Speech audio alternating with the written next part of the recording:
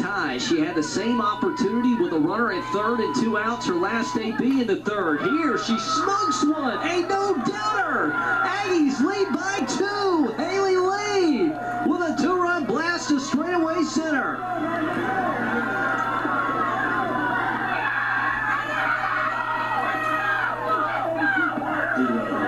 And Haley Lee, we talked about her average being over 500, but maybe not the home run she wanted. You can add that run column and put the Aggies ahead.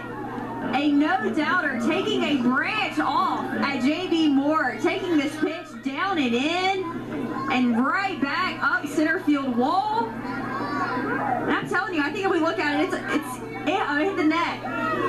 Oh my gosh, what a no doubter and what a swing of the senior of the Aggies. I'm still in awe of the raw power from that swing. I mean, It got out here quick. oh.